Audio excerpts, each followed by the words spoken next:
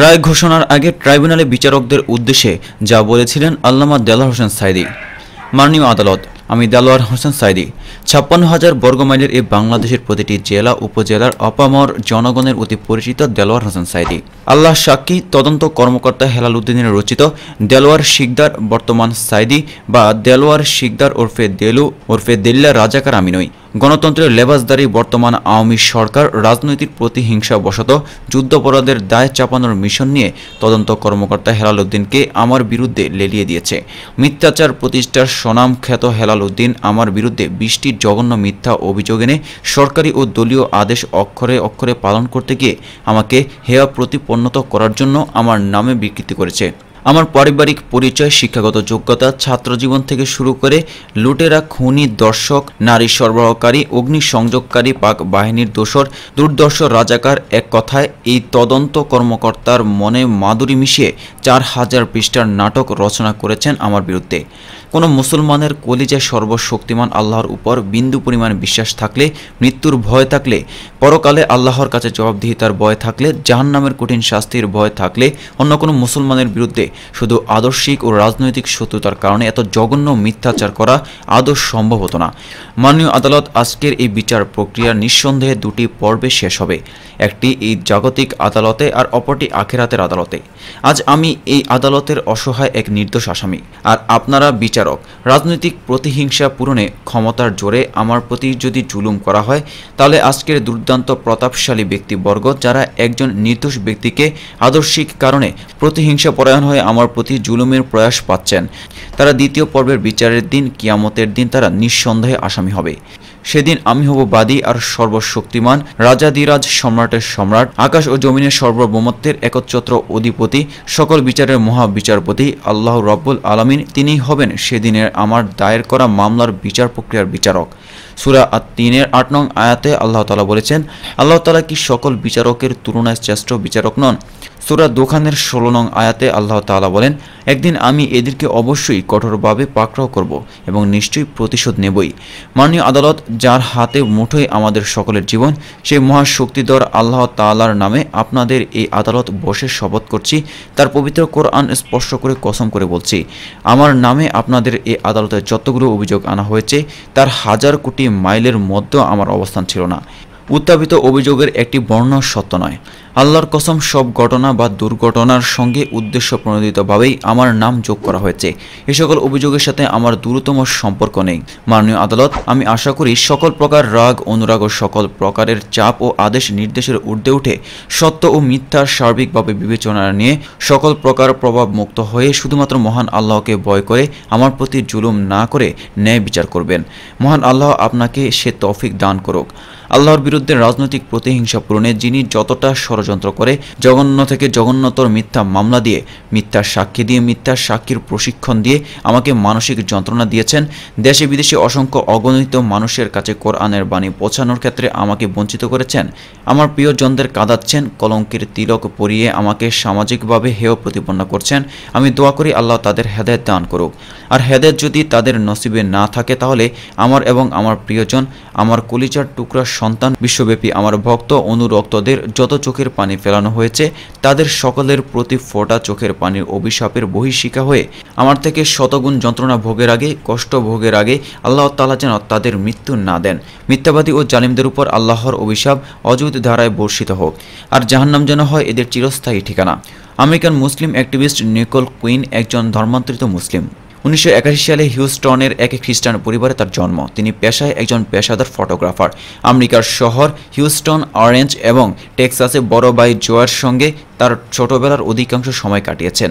আট বছর বয়সে নিকোল ও তার ভাই জয়ী তাদের পালিত বাবা মার সঙ্গে ডালাসের দক্ষিণ অবস্থিত একটি ছোট্ট শহরে চলে আসেন এবং তার স্নাতক শেষ না হওয়া পর্যন্ত সেখানে অবস্থান করেন।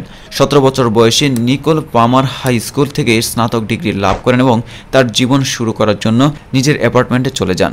নিকোল তার নিজের ব্যয়বার বহনের জন্য ফটোগ্রাফির ওপর কোর্স করেন এবং ফটোগ্রাফি স্টুডিওতে তার কর্মজীবন শুরু করেন।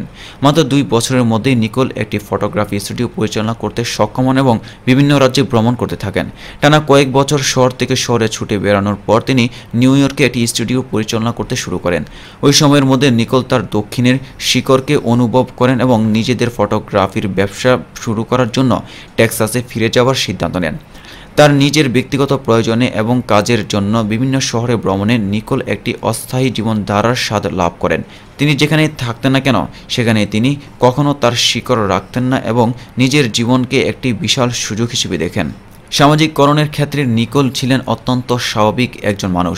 বিভিন্ন শহরে তার ব্যবসায়ের অভিজ্ঞতা থেকে তিনি অত্যন্ত দ্রুত বন্ধু তৈরি করতে শিখেন এবং তা অতি দ্রুত ছুঁড়ে ফেলে দিতেন।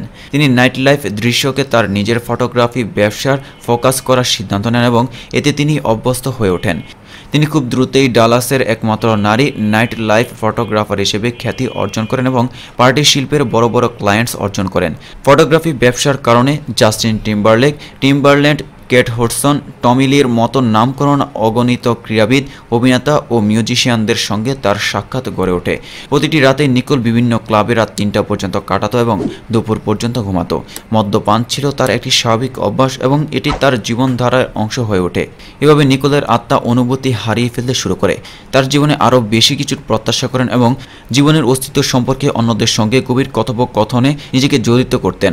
ক্লাব, পার্টি ও লোবের দ্বারা পরিবেষ্টিত বহু বছরের বস্তুবাদী জীবন ধারার পর নিকোল আত্মার সন্ধান শুরু করেন এবং মাত্র দুই বছরের মাথায় তিনি ইসলামী বিশ্বাসে যোগদান করেন।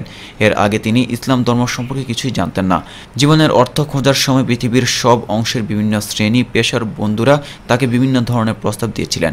এক রাতে শুটিং শেষে এক মুসলিম যুবকের সঙ্গে তার পরিচয় হয় এবং তার সঙ্গে বন্ধু তৈরি করেন। তার বন্ধুদের মধ্যে অনেকেই মুসলিম ছিলেন, কিন্তু তারা সবাই একইভাবে নিকোলের মতোই জীবনযাপন করতেন।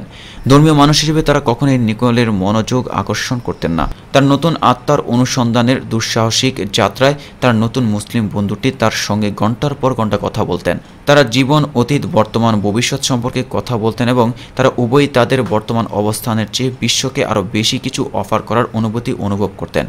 নিকোল অনেকগুলো উৎস থেকেই ইসলাম সম্পর্কে শুনেছেন, কিন্তু সবচেয়ে বড় প্রভাবটি এসেছে ইসলামের সঙ্গে তার প্রকৃত অভিজ্ঞতা থেকে। ইসলামী বিশ্বাসের শৃঙ্খলা তাকে দারুণভাবে আকৃষ্ট করে। মদ্যপান না করে কিংবা বিবাহ বহির্ভূত সম্পর্কের সঙ্গে জড়িত না হয়ে কীভাবে মুসলমানরা তাদের জীবনযাপন করতে পারে এবং ক্লাব পার্টিতে সময় নষ্ট না করে তারা তাদের জীবনকে কতটা গুরুত্বপূর্ণ করে তুলতে পারে, তা নিকোলের মনে বিস্ময়ের জন্ম দেয়। তিনি অনলাইনে ইসলামের সঙ্গে নিজেকে আবিষ্ট করে ফেলেন। ইসলাম গ্রহণকারী মুসলিমদের সম্পর্কে জানতে কখনো কখনো তিনি সমস্ত রাত পার করে সূর্যোদয় পর্যন্ত ইউটিউবে ভিডিও দেখছেন। ইসলাম গ্রহণকারী এসব মুসলমানদের কাহিনী তার জন্য প্রেরণাদায়ক ছিল কারণ এই লোকেরা একই ধরনের আকাঙ্ক্ষার কারণেই তারা ইসলামের শান্তি খুঁজে পেয়েছিলেন। ইসলাম নিয়ে নিকোলের ক্রমবর্ধমান নানা প্রশ্ন আর তার মনোযোগ বিষয়টি বেশ ভালোভাবেই খেয়াল করেন ওই মুসলিম যুবকটি।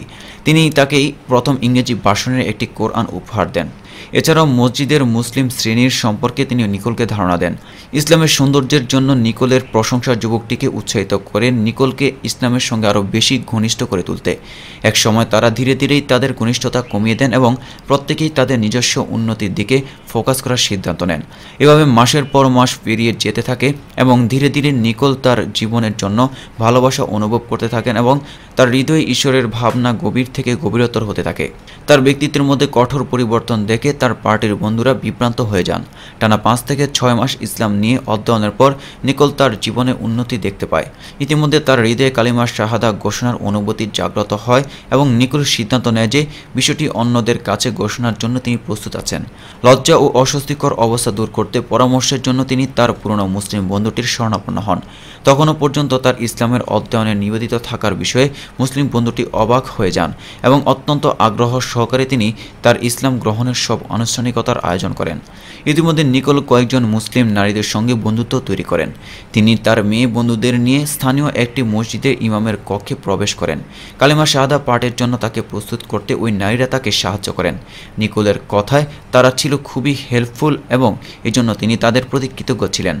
কালিমা পাঠের জন্য নিকোল লম্বা একটি সাদা লিনেন স্কার্ট পরেন এবং মাথায় হিজাব পরিধান করেন। নতুন বান্ধবীরা তাকে অজু এবং স্কার্ফ পরতে সাহায্য করেন। ডক্টর ইউসুফ জিয়া কাবাসি নামে তুর্কি বংশোদ্ভূত একজন ইমাম তাকে কালিমা পাঠ করান। ইসলামের প্রথম এই যাত্রার নিকোলের চোখে মুখে গোলাপি আবা ফুটে ওঠে। সাদা পাঠের আগে ইমাম তার কাছে জানতে চান তিনি যা করছেন তা সুস্থ মস্তিষ্কে করছেন কিনা। এরপর ইমাম তার নিকট কালিমার অর্থ সুস্পষ্টভাবে ব্যাখ্যা করেন। তিনি তাকে ইংরেজি ও আরবি উভয় ভাষাতে কালিমা পাঠ করান। ইসলাম গ্রহণের পর নিকোলের জীবনে পুরোই বদলে যায়।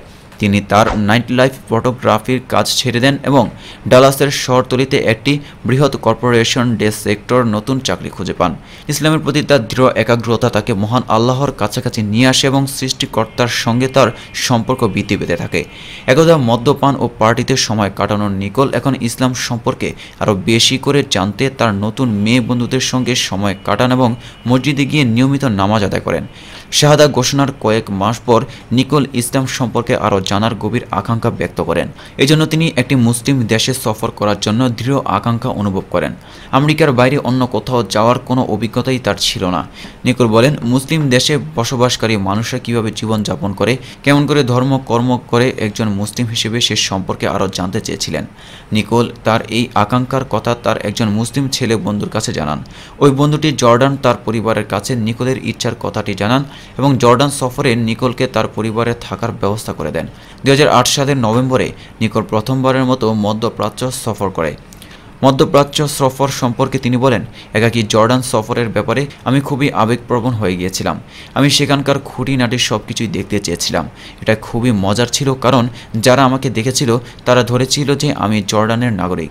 সেই স্মৃতি স্মরণ করে তিনি বলেন, সেখানকার অধিকাংশ মেয়েই হিজাব পরিধান করে। আমিও চেয়েছি তাদের মতো করে এটি পড়তে। সেখানে আমার অতিথি মায়ের প্রতি আমি অনেক কৃতজ্ঞ। তিনিও হিজাব পড়তেন এবং আমাকে বিভিন্নভাবে সহায়তা করতেন। তার অতিথি পরিবারটি তাকে তাদের মেয়ের মতোই আদর করত এবং তাকে তাদের পছন্দের রেস্টুরেন্ট, দোকান এবং কফি হাউসে নিয়ে যেত। সেখানকার প্রায় তিরিশ শতাংশ মেয়ে হিজাব পরিধান করে না এবং তারা সাধারণ প্রকাশিত পশ্চিমা পোশাক পরিধান করে। এই বিষয়টি নিকলকে বেশ কষ্ট দেয়। আম্মানের নতুন পরিবেশে হিজাবে নিকোল তার নিজেকে অত্যন্ত পবিত্র অনুভব করেন এবং অন্যদের কাছে থেকে অনেক প্রশংসা কুরান এটি তার আত্মবিশ্বাসকে বাড়িয়ে দিয়েছিল। নিজ দেশে ফিরে গিয়ে হিজাব ছেড়ে দেওয়ার চিন্তাটি তিনি ঘৃণার সঙ্গে প্রত্যাখ্যান করেন। নিকোল বলেন, মাত্র তিরিশ দিনের জন্য যদি কেউ হিজাব পরিধান করে, আমি চ্যালেঞ্জ করে বলতে পারি, তিনি এটি কখনোই ছাড়তে পারবেন না। এটি তার অন্তরের অন্যরকম সুখের অনুভূতি নিয়ে আসবে। নিকোল জর্ডান থেকে টেক্সাসে ফিরে আসেন এবং তার জর্ডানি মুসলিম বন্ধুদের সঙ্গে তার নতুন অভিজ্ঞতা শেয়ার করার জন্য অত্যন্ত উদগ্রী হন। সকালে ফজরের নামাজের জন্য মুসলিম বন্ধুর মা তাকে প্রতিদিন জাগিয়ে তুলতেন এবং সূর্যাস্তের সময় তাদের আম্মানের শ্বেত পাথরের ঘর থেকে তাকে সূর্যের বিভিন্ন রঙের বর্ণালী দেখাতেন। এসব বিষয়ে তিনি অত্যন্ত আগ্রহ নিয়ে মুসলিম বন্ধুদের সঙ্গে শেয়ার করতেন। আজ থেকে চার বছর আগে নিকোল ইসলাম ধর্মান্তরিত হন এবং এটি এখনও তার কাছে নতুন অনুভূতির জন্ম দিচ্ছে বলে তিনি জানান। তার মুসলিম বন্ধুটি পরে তার নিজ নিজের ব্যক্তিগত যাত্রা শুরু করেন এবং মক্কা থেকে হজ করে ফিরে আসার পরই তিনি নিকোলের কাছে বিয়ের প্রস্তাব দেন এবং তার পরিবারের সম্মতিতে জর্ডানের রাজধানী আম্মানে তাদের বিবাহ সম্পন্ন হয়। হাসান এবং নিকোল দম্পতি বর্তমানে ডালাস শহরের টেক্সাসে অত্যন্ত সুখেই বসবাস করছেন। নিকোল তার স্বামীর সহায়তায় দাওয়াতের মাধ্যমে তার জীবনের উদ্দেশ্য অব্যাহত রেখেছেন। দাওয়াতের কাজের জন্য তিনি তার নিজস্ব ওয়েবলগ চালু করেছেন। নিকোল তার ব্লগে বলেন, আমার ইসলামের ধর্মান্তরের যাত্রায় আমি যে সকল সমস্যার মোকাবিলা করেছি, তা যাতে অন্যরা না করে, এই উদ্দেশ্য নিয়েই আমার এই দাওয়াতি ব্লগ। এছাড়াও তিনি আমেরিকার মুসলিম কমিউনিটির সঙ্গে দাওয়াত, ইসলামের ধর্মান্তর, জনগণের সঙ্গে ইসলাম সম্পর্কে নিয়মিত কথা বলেন। আল জাজারিয়ার ইসলাম ইন আমেরিকা, আল জাজারিয়া টিভির দ্য সুজ ইসলাম এবং রাষ্ট্রদূত আকবর আহমেদের জার্নি ইন্টু আমেরিকা তথ্যচিত্রের মাধ্যমে নিকোলকে তুলে ধরা হয়েছে। সম্প্রতি নিকোল ও হাসান আমেরিকায় ইসলাম সম্পর্কে বিবিসির ডকুমেন্টারিটিতে অংশ নেন।